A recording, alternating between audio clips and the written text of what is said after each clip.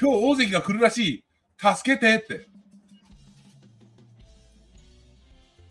うん。助けてって言ったみたいですね。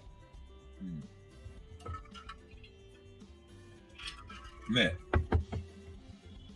スパチャ自分で投げて、ナースケ助けてって。ねで、えっと、そこで、僕の知り合いから連絡あったみたいで、僕の知り合いに連絡あったみたいで、大関来ねえじゃねえかと。俺別に突るなんて言ってないんだよ。来ねえじゃねえかって。だから俺が、ちょうど、俺が、あのー、こう言ってあげてって。税務署にいるよって教えてあげてって。うん。だ分かりましたっつったら、この女、ね。この女、バカ女。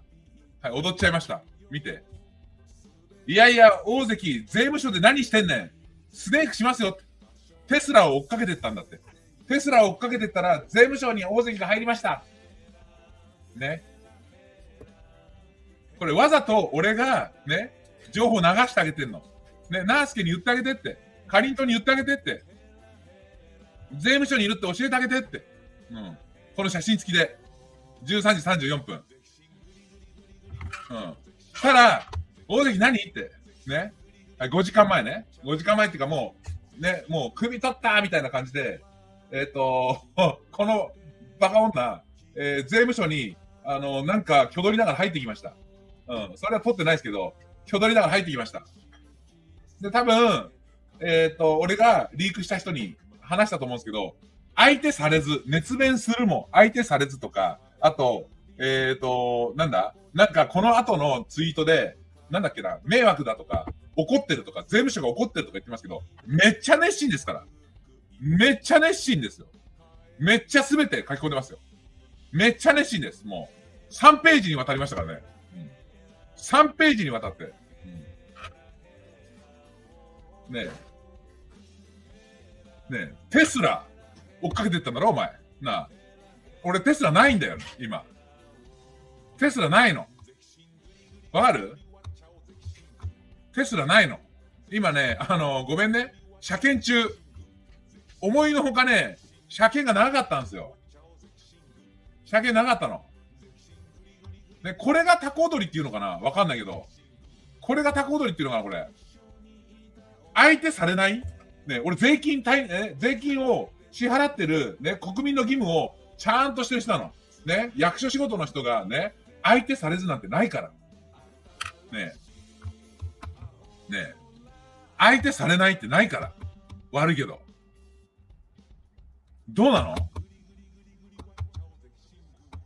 相手されない？俺が？ねえ。めちゃめちゃメモ取ってますやん。めちゃめちゃメモ取ってますやん。で、えー、っと、いそいそと入ってきました。そう。そう。ね。で、未だに皆さん、稲村は、この稲村久志事務所、もう、もはや、ね、ね、毎月、毎年か、毎年、ね、申請もしてない。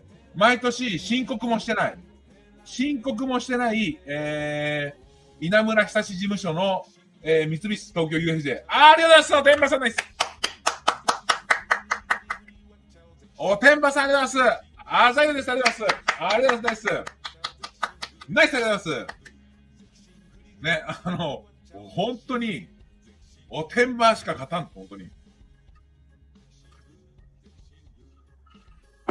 出遅れた。ね。ですから皆さん、あの、みんな、あれして、もし通報するんだったら、ちゃんと、この口座メモって。で、この口座に入れた人、この口座に入れた人は一緒に被害届出せます。うん。なんでかというと、ね、法人の名義の、ね、法人名義の、えー、口座に対して、個人の応援を入れる。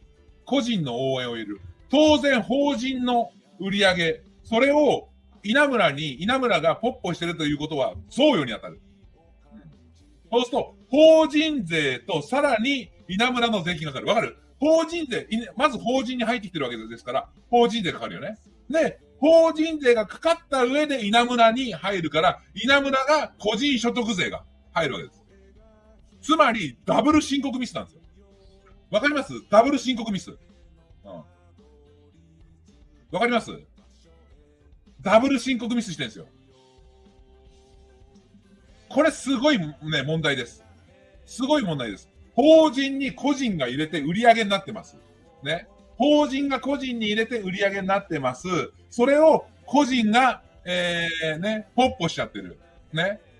法人税を払った、例えば10万円を、えー、法人に振り込みます。そうしたら、法人税として大体ね、まあ7万か 6, 6万残るとします。そしたら、その6万を自分がいただきます。その6万、6万が給与所得として落ちるんだったらいいよ。給与所得として落ちるんだったら。でも、全額自分がポッポしたら、その6万に対しての税金もかかるってこと。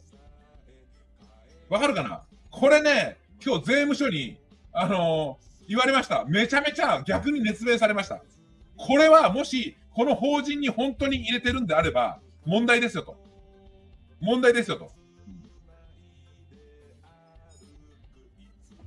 横領になりますよ。横領になるけど、自分の会社でも、会社や会社で横領になります。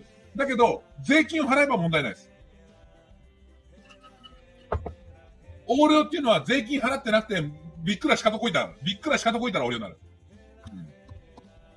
うん、インコロイドさん、そうですね。ありがとうございます。ナイス。いや、だからもう申告してないから、この会社。稲村久志事務所、申告してませんから。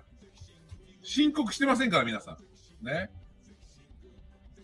これ、あの、セルリアンタワーで、あのレンタルオフィスで作ってるわけですから、申告してませんから。